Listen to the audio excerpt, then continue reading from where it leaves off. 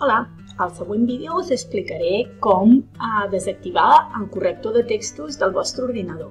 Primer de tot, heu d'accedir, per exemple, a l'aula virtual des del navegador Google Chrome. Un cop estigueu allà, a qualsevol pàgina, heu d'anar a la part superior dreta i clicar sobre els tres punts. Dels tres punts heu de buscar configuració. Un cop sigueu a configuració, a la banda esquerra heu d'anar a l'apartat Idiomes. A Idiomes tindreu eh, seleccionats tots els idiomes que vosaltres teniu preseleccionats i com veieu aquí posa corrector ortogràfic.